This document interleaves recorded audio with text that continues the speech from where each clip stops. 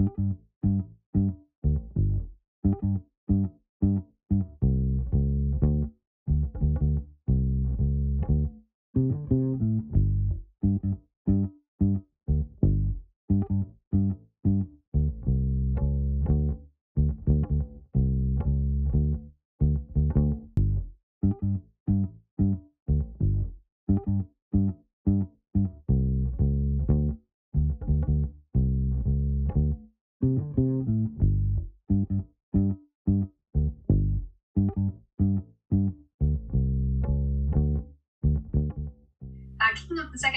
Presentations today is Laura Guertin.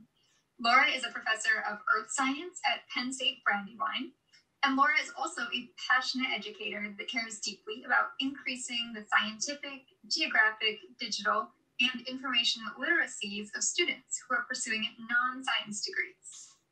Laura has come up with some unique ways to weave together different disciplines in STEM and non STEM fields which she will share with us in her talk, Stitching Through Science Communication with Quilts. Are you ready to go, Laura? Touch. Thank you very much. And I would love to take all of you with me on a journey down the Louisiana Bayou. So let's go ahead and get started. And what we're going to do is go back to March of 2018, where I, as a scientist and an educator and a communicator, has gone down and attended an event and came out of there with a whole new different perspective and way to communicate science that I was learning.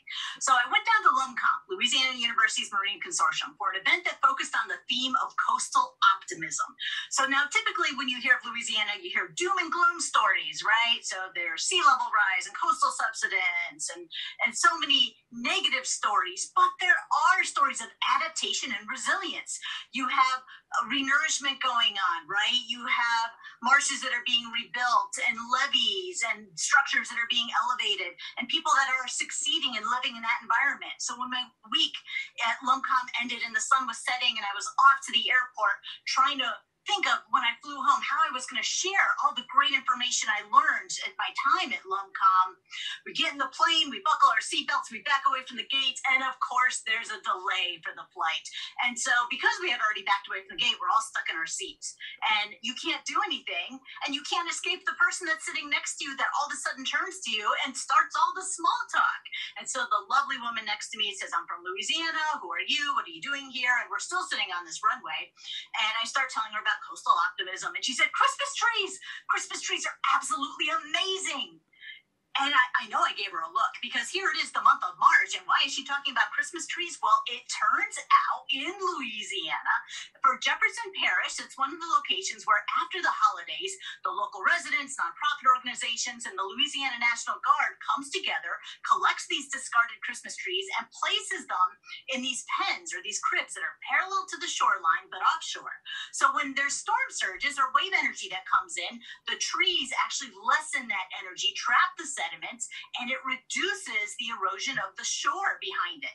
And we've actually collected data on this. Scientists have actually shown it that there's still some loss, but it's significantly reduced compared to the areas that are not protected by these cribs of Christmas trees. So, hey, yay, Christmas trees. And so we, I finally get home and I walk through my dining room, which has been converted into my quilting room, and I see my grandmother's sewing machine on the table. And I'm like, could I can I do this? Could I actually combine this incredibly passionate story about Christmas trees with sewing and quilting? Okay, how do, how do I do this? How do I move forward? Well, I'm going to need some fabric, right? And so I needed some fabric that represented kind of coastal plants, and, and I needed fabric that represented waves, and of course, Christmas tree fabric too. And there's no pattern that exists to tell a story about Christmas trees on the Louisiana coast. So I made my own pattern, and, and I want you to view this not as something that is, that is representing quantitative data uh, think of the, these horizontal bars as you go from the top to the bottom of this quilt as a sequence in time, where you'll see a lot of plants in the first bar and a little bit of water. But as you go down in time, you're losing some of the land and you're seeing more water. So you're losing your coast as you're moving down in time through this quilt. Now, as you continue, you're going to get to this point where the Christmas trees have been established offshore. So now what's happening is, yes, you're still getting some land loss, but it's reduced. It's not that same volume of fabric that is getting lost as you move down the quilt. So this is the very first quilt I ever made that told a science story. And I have to thank the woman that was sitting next to me on the plane for inspiring me to think about how I could communicate science in a different way to new audiences. And I've started sharing my quilt on campus and at uh, informal science events in the Philadelphia area. And I've made even more quilts. I have a whole collection now that I call Stitching Hope for the Louisiana coast. And it's about all different types of stories success stories, stories of coastal optimism, whether it be the invasive apple snail, but the limpkin bird is coming in and eating that, about how the Endangered Species Act has uh, been able to protect some of these iconic species like the uh, American alligator in Louisiana swamp, how Native American tribes like the Pointe Chien are adjusting down there. And so what I have found out is that Everyone likes quilts. I mean, who doesn't have a favorite quilt story or a quilt at the end of their bed?